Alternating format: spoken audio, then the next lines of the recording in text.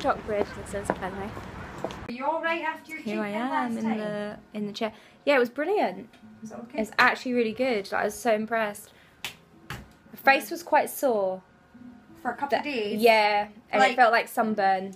Felt like sunburn, just like heat in the Tight. area. and Yeah, yeah. Then did it go a bit dry and flaky? Mm, so so, it was fine. It It was. was I mean, it was bearable, and obviously because it's for a good thing, I don't mind. That's the rejuvenation process, if you like, taking place. So, Yeah. in many ways, you kind of want to create that sort of heat in the skin, and that is optimizing your results. It's when you, when it's actually sore, sore, blistered, you've taken it too far. Yeah, no, it wasn't like we don't that. want to be doing that.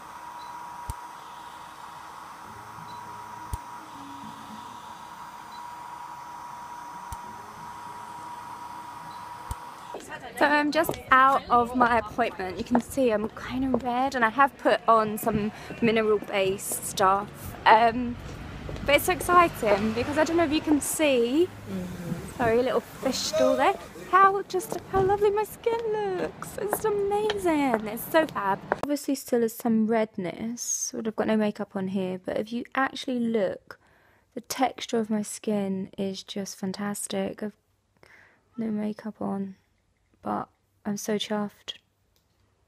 It's actually got a sheer like shine here. Amazing.